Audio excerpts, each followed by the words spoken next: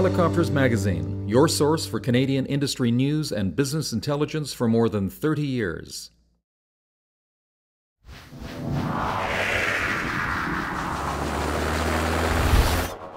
When economic belt tightening becomes a heightened priority, it's paramount to not compromise on safety concerns.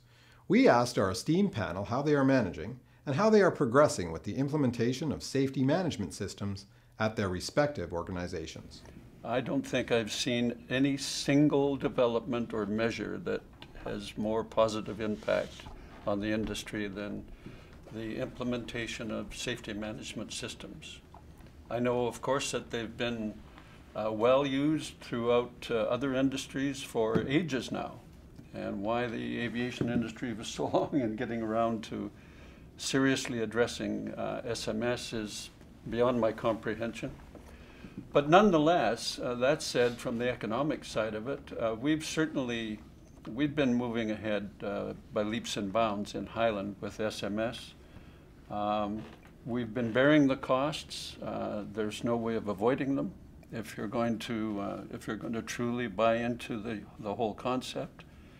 And uh, other things perhaps have suffered as a result of complying with the safety development but our focus is entirely on doing that.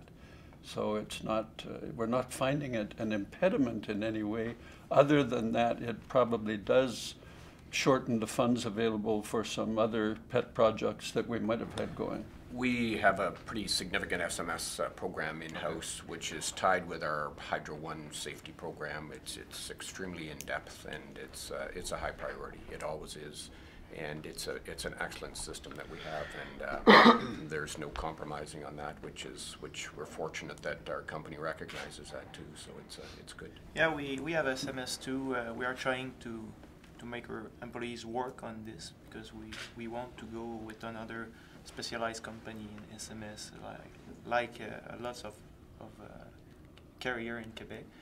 So uh, the, the the system is is good uh, for us, the problem at this time is uh, with Transport Canada because uh, inspectors don't know their own system at this time, and I think they they are trying to, to do good, but uh, I think they are very very busy, uh, Transport Canada, and we are trying to to have sometimes help about this, and sometimes uh, we, we don't have response or they you just don't call back or you know.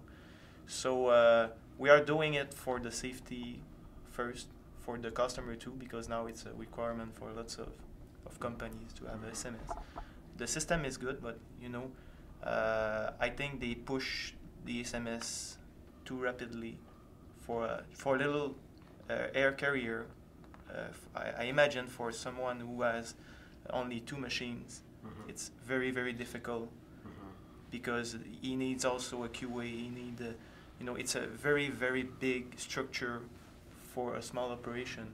Mm-hmm. So I don't know how what's going for for for those guys, but you know, uh, for us. Uh, yeah, the SMS is, is doing well.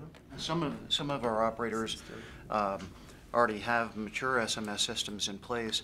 Okay. Challenge from uh, HAC's perspective is really uh, two-dimensional.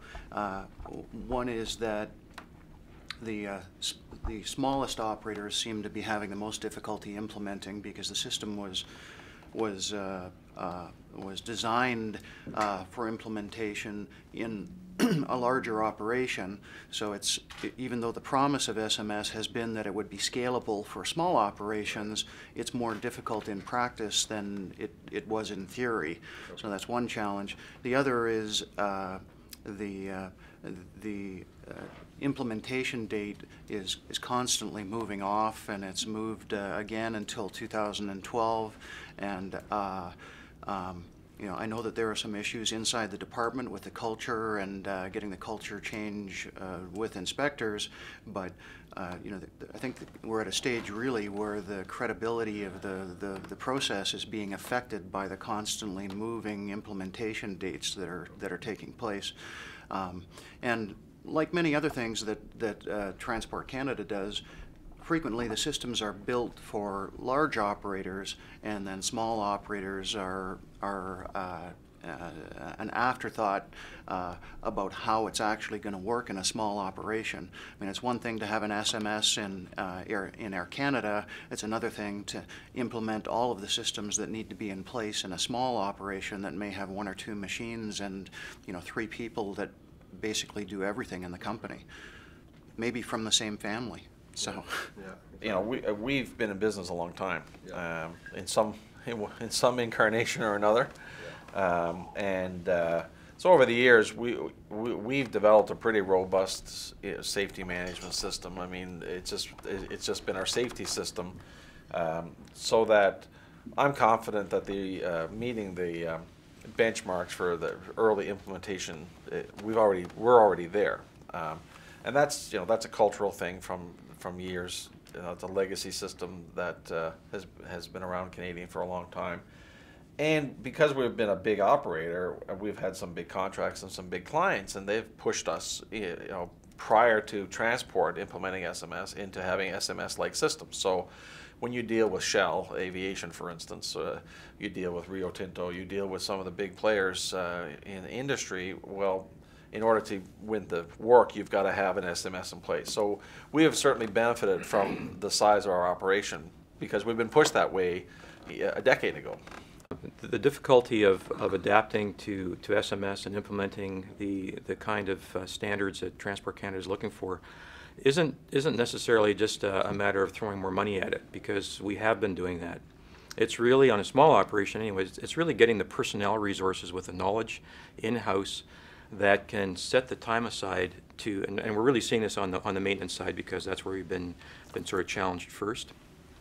So the, the, the challenge for us, where we haven't been slowing down because we haven't been affected by the, the general economic slowdown, when you're trying to maintain full operations and even expanding, because right now we're looking at expansion in, in Saskatchewan, we've been having a lot of challenges getting our AW139s uh, interiors designed and completed. So our, our maintenance and engineering and design staff have really been fully occupied uh, just with day-to-day operations. And at the same time, we've had to find ways to break out management's attention so that they can actually really re-engineer the whole uh, maintenance control system uh, so that we can successfully meet the, the audit requirements. It's, it's a good thing in the long haul, but in the short run, it certainly is, is challenging.